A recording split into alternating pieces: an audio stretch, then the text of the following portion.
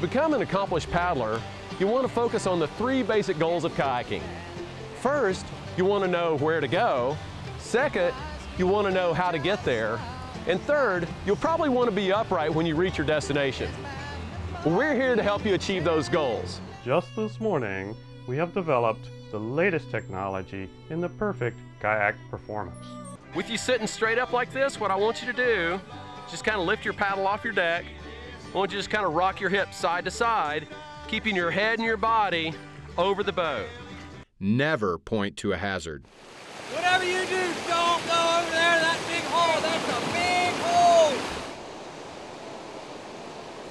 I guess he wants us to go through that big wave. Wow, that's really exciting. Can I see it?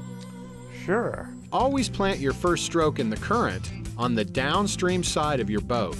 Just like on the lake, this anti-turn stroke will prevent your boat from spinning out. Imagine carrying a sheet of plywood on a windy day.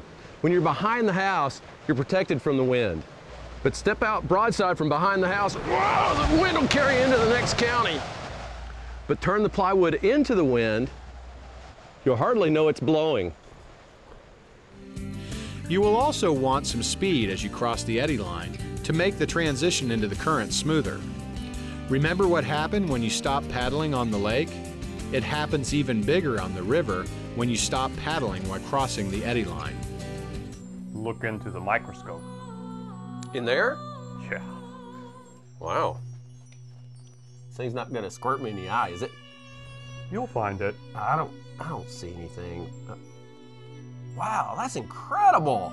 So everybody just kind of do the free floating thing right now. Just do the free floating, and we're gonna pretend we're in the safe swimmer's position.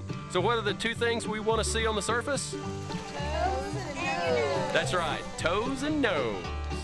All good kayakers have learned to incorporate four basic principles into every aspect of their paddling. And since we're getting ready to go paddling, let's prep for success. Prep. That's P for posture, R for rotation, E for eyesight, and P for a positive mental attitude. Let's take a look at why prep is so important when you're learning to paddle. What are you waiting for? Let's get started.